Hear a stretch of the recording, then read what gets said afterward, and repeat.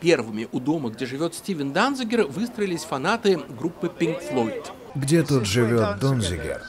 Они ждали и надеялись получить автограф своего кумира, сооснователя легендарной группы Роджера Уотерса. Все мы здесь, потому что мы видим вопиющую несправедливость. Он сидит там на пятом этаже с электронным браслетом. Эпическая битва между Стивеном Данзигером и нефтяной компанией Chevron продолжается уже более двух десятилетий. В 2011 году Данзигер выиграл дело против американской нефтяной компании в суде Эквадора. Суд установил, что по вине корпорации 16 миллиардов галлонов токсичных отходов нефтепроизводства оказались в реках и других водоемах бассейна Амазонки и решил взыскать в пользу коренных жителей региона беспрецедентную сумму – 9,5 миллиардов долларов. Среди сторонников Данзигера – голливудская звезда Сьюзен Сарендон. Более двух тысяч человек были отравлены компанией Chevron и умерли. У нас нет точных цифр, потому что медсестра, которая собирала эти данные, сама умерла от рака. Компания Chevron отказалась признать решение эквадорского суда и выплатить штраф. Вместо этого она обратилась в федеральный суд в Нью-Йорке, который в ходе процесса без участия жюри присяжных признал Данзигера виновным в нарушении закона о противодействии рэкету и коррупции – Пол Берретт написал книгу о противостоянии Донзигера и Шеврон «Закон джунглей». Он считает, что изначально у Донзигера были благородные намерения, но с годами тот стал руководствоваться принципом «в борьбе Давида с Голиафом все средства хороши». Судья в Нью-Йорке сказал, что поданный Донзигером иск изначально мог быть вполне законным. Судья не стал давать ему юридической оценки, но со временем действия адвоката вылились в вымогательство денег у компании, и это противоречит закону. Судья сказал Донзигеру, «Я признаю вас рэкетиром и запрещаю вам пытаться получить в США деньги, которые вашим клиентам присудил суд в Эквадоре». Пол Берретт считает, что Донзигер в погоне за успехом отказался от принципов, которые обязан соблюдать адвокат.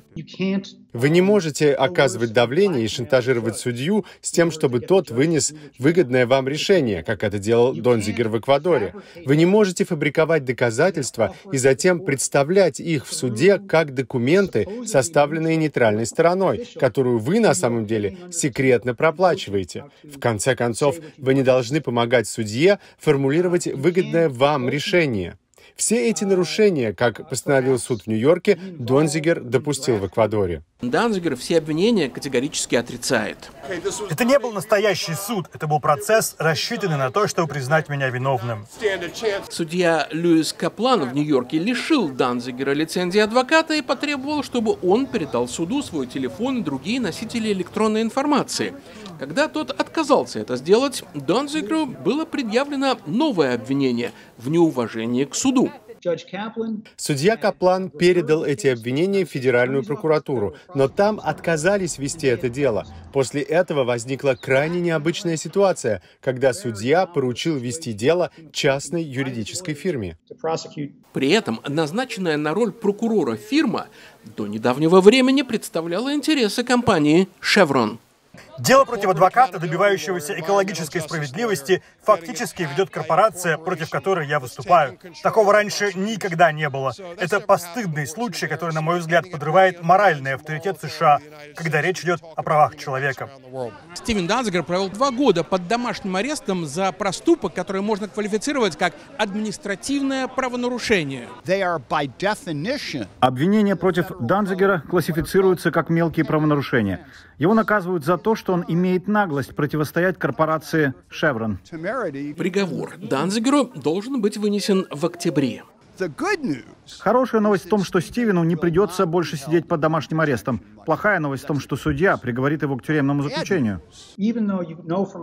Как вы знаете из моей книги и из нашей беседы, я считаю обвинения Донзигера в рэкете весьма обоснованными. Однако сейчас это дело приняло совершенно безумный оборот. Я считаю, что когда судья Каплан передал дело в Федеральную прокуратуру, и там отказались предъявлять Донзигеру уголовное обвинение, на этом следовало поставить точку.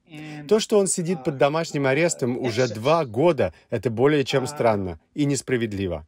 Да, я ему совсем не симпатизирую, но это все равно несправедливо. Сам Данзигер намерен обжаловать любое решение суда и уверен, что в конечном итоге справедливость восторжествует. Я достаточно уверен в американской юридической системе, чтобы утверждать, что наша апелляция будет удовлетворена. Наша позиция следующая. Так как в роли прокурора выступает не государство, а частная юридическая фирма, связанная с «Шеврон», весь этот процесс противоречит Конституции. Такого никогда не было, и я надеюсь, больше никогда не будет. Михаил Гудкин, Максим Авлошенко. Настоящее время. Из Нью-Йорка.